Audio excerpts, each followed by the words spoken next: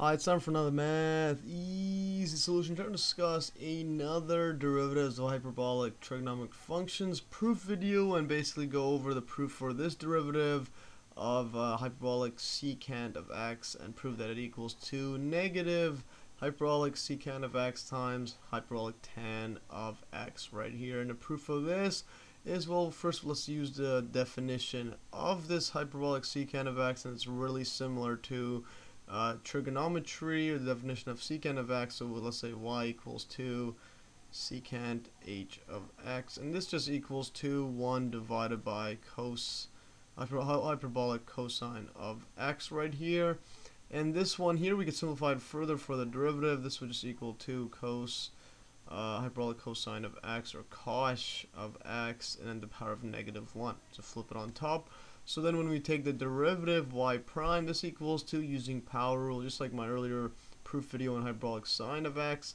Uh, we'll take the uh, proof, I mean cosine of x. So we take the derivative of this is going to be negative 1 using power rule.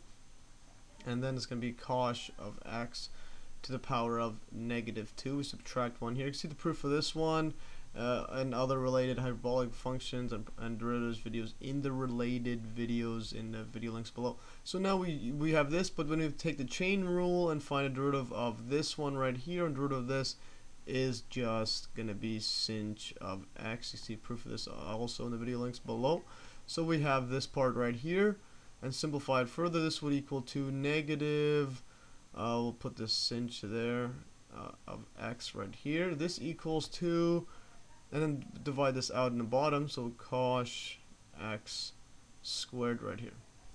I'll just write it like this. So we have this part right here but we got to make it look like this and we could do that pretty easily. We just put it as negative.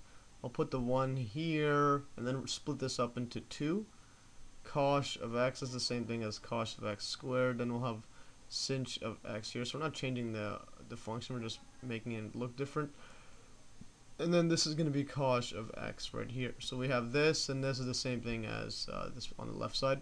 But now this part here equals to, well, negative, and then by definition, this is going to be secant, hyperbolic secant of x. And then multiply by this definition, that's just hyperbolic tan of x right here. And this is our answer, and this is the exact same thing as this here. And this is basically the proof for this uh, derivative. Anyways, that's all for today. Hopefully you enjoyed this quick video.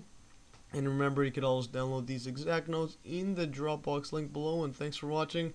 And stay tuned for another Math Easy Solution.